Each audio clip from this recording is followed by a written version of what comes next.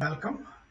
This is uh, video 1.1 in the playlist uh, Getting Started with Processing aimed at beginners. Most of uh, this video as such is aimed at those of you who are interested in learning or just getting started with processing and are new to generative art as such. So I go step by step and uh, one important note is that I focus on the Python mode or the Python binding of processing. So I use Python to uh, write and show you how we can use it for generative art. This is a very short video. There's no code at all. Just pay attention because it's very important to know and understand how the canvas coordinates are laid out. First of all, what is the canvas, right? The canvas is this white big space, the drawing surface. This is where you will draw, where you will create an image, your generative art of some size and you will save it, okay? Therefore, a canvas has an X direction it starts from the, it goes the horizontal direction basically, that's the X direction, and the Y direction, which is the vertical direction.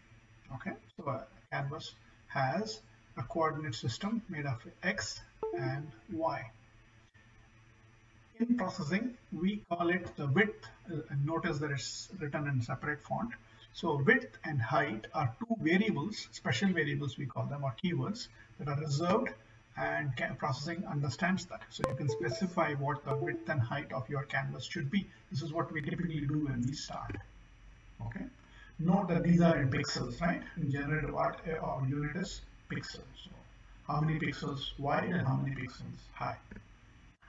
And therefore, you could say something like this. You can call the, there is a simple function called size, which just takes the width and the height. So you can say 1000 comma 800 which means that my width I would like an image I'm going to create an image of 1000 pixels wide and 100, 800 pixels high. Okay all that is easy. But this also means that every point in our canvas has one unique coordinate uh, one xy coordinate typically written with bracket x comma y. And how, how does this work?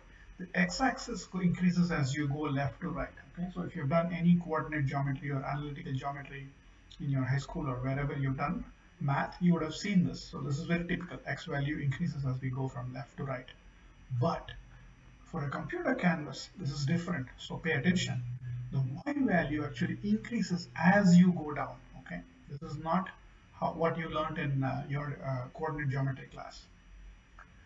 So by convention, the origin is actually our top left corner, as you're seeing there. So that is 0, 0 and as you keep increasing increasing the last pixel which is which has the highest coordinate if you will is in our case 1000 comma 800 which happens to be my bottom right corner. So I marked it there. So now you can think what should be the coordinate? What is the xy coordinate of my midpoint right? So let's work this together. And if you know this you have already learned pretty much everything there is to know about a canvas. The midpoint uh, let's work it out right? It's going to be x my whole width divided by 2 so it will be 500 and my height or 800 divided by 2 so it should be 500 comma 400 and that refers to that one particular point. Okay that's it. So now you know about uh, processing canvas uh, I would ask you to uh, continue. Don't stop here. Go watch 1.2 because you will learn about two very important uh, functions setup and draw which are sort of the backbone of how processing works Hope that was useful and thank you for your time. See you in the next video.